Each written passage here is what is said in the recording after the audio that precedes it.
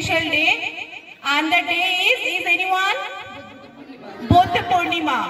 Lord Buddha. We are celebrate this day to dedicate the Lord Buddha. So teachers are requested to uh, instruct all the students, especially English teacher, you have to give them essay on Lord Buddha. Okay? We have to learn and we have to know about the students about our Buddha Purnima.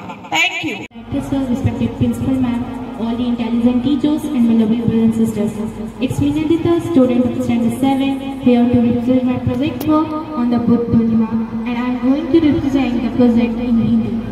Buddha Purnima हर एक साल वैशाख मास के पूर्णिमा के दिन मनाया जाता है इसलिए इसे बुद्ध पूर्णिमा भी कहा जाता है बुद्ध पूर्णिमा, बुद्ध धर्म के लोगों के लिए बहुत ही खास है और ये पूर्व हिंदू के लोगों के लिए भी बहुत ही महत्वपूर्ण माना जाता है।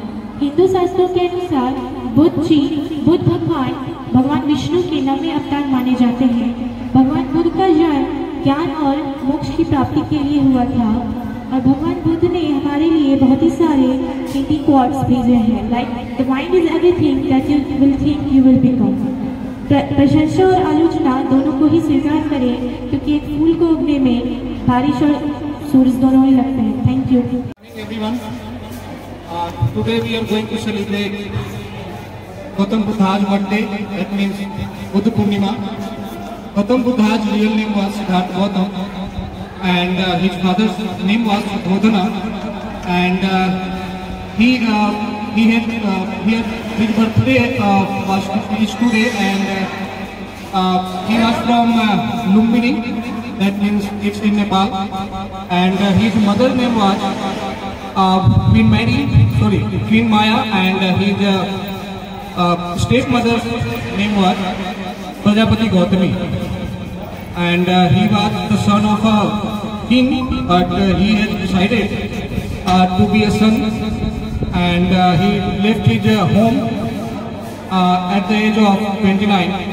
Thank you. Thank you so much. Principal ma'am, principals, sir, teachers and all my dear friends. My name is Ishika Yadav of Standard 10. I am here to represent my presentation. My presentation is about Gautam Buddha. Siddhartha Gautam is known as Gautam Buddha. He was born in year 563 BC in city Lumbini, country Nepal. Thank you.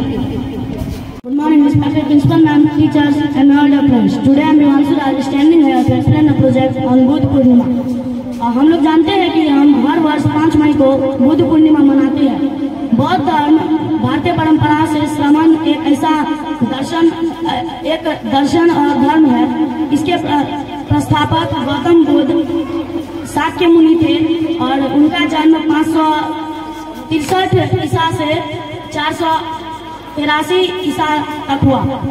तिरासी ईसा तक थे और वे पहले एक ऐसे इंसान थे जो जन्म लेते ही चार कदम चले तो उन चार कदमों पर कलम फूल खिल कल, कमल फूल खिल आए थे। धन्यवाद। Good morning everyone. My name is Sakshit Maria. I study in class 2. Today is Buddha Purnima. This project is given by Sneha ma'am. Buddha के ज्ञान से अपना जीवन को सार्थक बनाओ भगवान के भगवान के रास्ते पर चलकर दिखाओ भगवान बुद्ध के रास्ते पे चल के दिखाओ thank you have a nice day My name is Rashida. I study in class 2. My school is Delhi School. This project is given by Sneha ma'am. Buddha के ज्ञान से अपने जीवन को सार्थक बनाओ भगवान बुद्ध के रास्ते पर चल My name is Rajnandani Yadav. Today today is day of Buddha Purnima Buddha के ज्ञान बुद्ध के ज्ञान से अपने जीवन को सार्थक बनाओ भगवान बुद्ध के रास्ते पर चलकर दिखाओ thank you and have a nice day Good morning to you all, respected directors, sir, principal, ma'am, teachers, and my dear friends. Myself, Arpita Rani of Standard 10. Today I am here uh, give some word about, say some word about uh, Lord Gautam Buddha. Gautam Buddha is also known as Siddhartha Gautam Buddha. He was born on 563 BC and he was a great man who considered uh, religion Buddhism. Thank you.